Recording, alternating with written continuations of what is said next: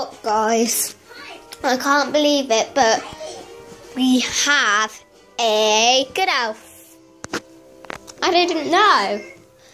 Like last video, like last night, it's me. The morning, yes. But here's the Christmas tree gun. You didn't get to see it. Here's there.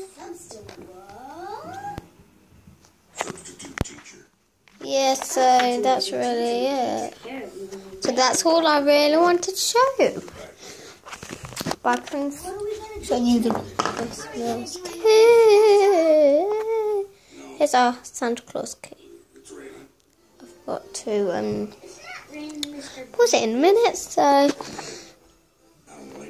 I just wanted to show you this. My angel Isabel. Where's Olivia? Olivia, my sisters. So bye guys. Thank you for watching.